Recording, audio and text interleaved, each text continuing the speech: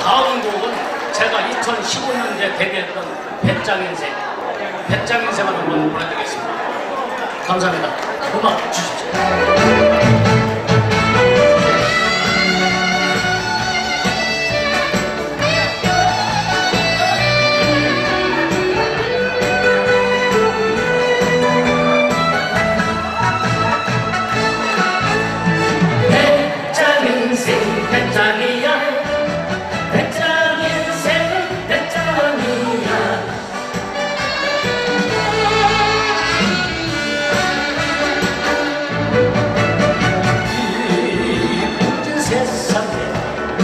She's loyal, take